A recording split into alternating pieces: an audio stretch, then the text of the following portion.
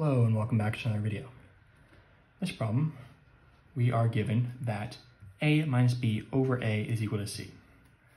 And a is negative and b is positive, and from this information we have to come to some conclusion about c. So, rewriting this equation to write a as a negative number and b as a positive number, we can say this is a negative minus a positive over a, which is a negative.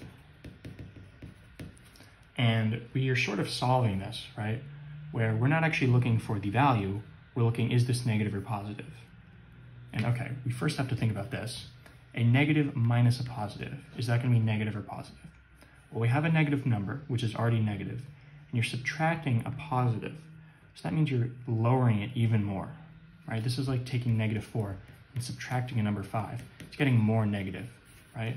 It's getting lower than it was originally, so it's going to stay negative. So we have a negative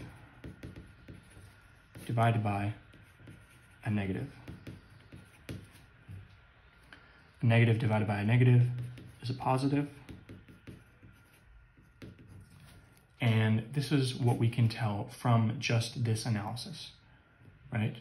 And so we know um, C is positive.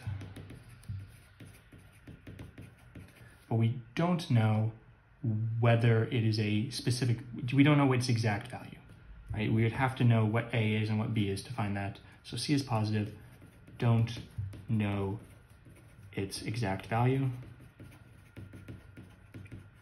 So we can say C is positive, so it's not less than negative one, it's not equal to negative one, and we don't know its exact value from this information, so therefore we don't know that it's equal to one.